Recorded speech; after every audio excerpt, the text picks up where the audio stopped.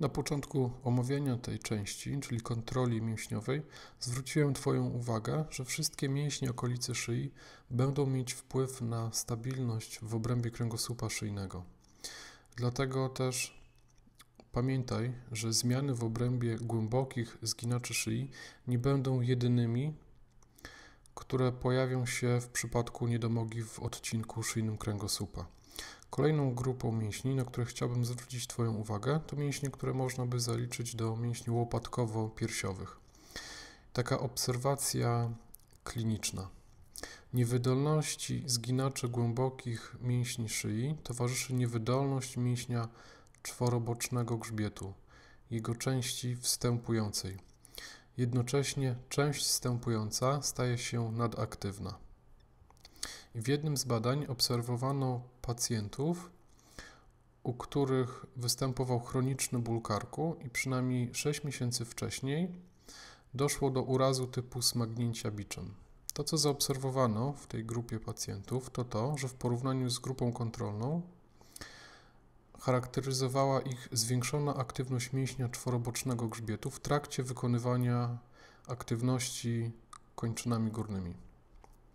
I również w porównaniu z grupą kontrolną pojawiły się trudności z rozluźnieniem części zstępującej, czyli części górnej mięśnia czworobocznego grzbietu po aktywnościach kończyn górnych.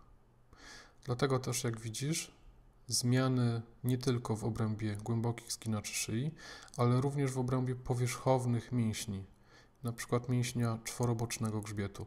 Dlatego musisz być w stanie ocenić funkcjonalnie ten mięsień.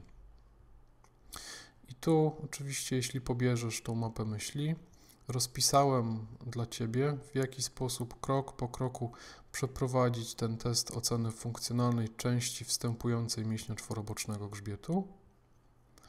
A teraz zwróć proszę uwagę, w jaki sposób ja to przeprowadzam.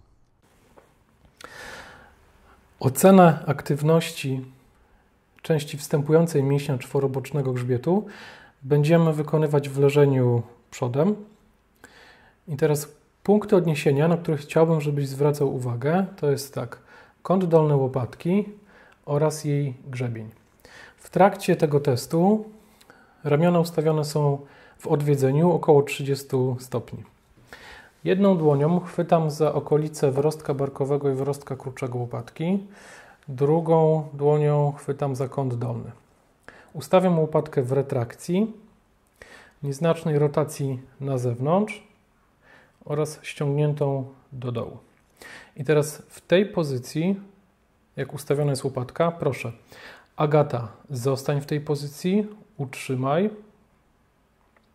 Zabieram swoje dłonie, ustawię je pod grzebieniem łopatki i swoimi dłońmi będę spychał w tych kierunkach na zewnątrz, do dołu i do góry.